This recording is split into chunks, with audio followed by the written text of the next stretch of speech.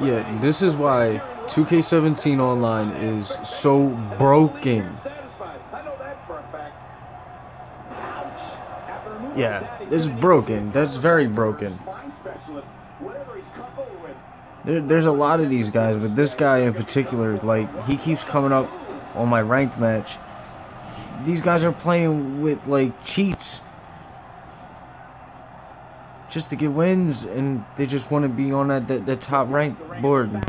Dude's already got. I almost beat him once, and he started using that move on me and shit.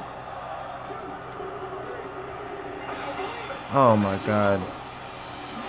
This guy, it, it's it's a shame, man. This 2K games are so broken, man. He cannot play a legit game.